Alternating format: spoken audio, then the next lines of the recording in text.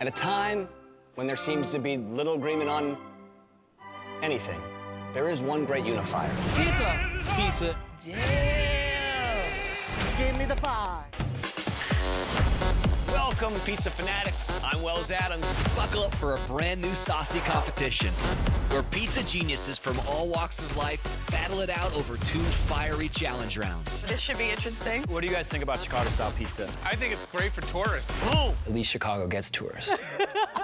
To find out who's the best the best. You'll be making a pizza cupcake. No, I'm 82 years old. I do what I want. My family look like the movie of God the Father.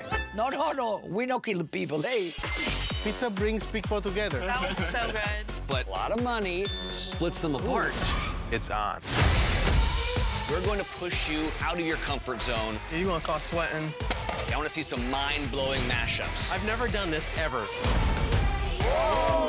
As a man with a ponytail, I wish that it would be a little more creative. I am not at all confident about my pizza. Something's burning. Uh-oh. This is so screwed. We want to see you make pizza with no dough at all. I think us three should take him outside. It would be the first time I've been on a show where people wanted to kill me. Oh, look at that.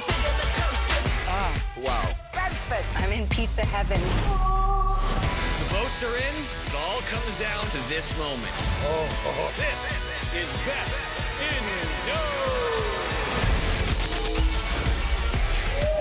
Could watch this all day long. Let's dough.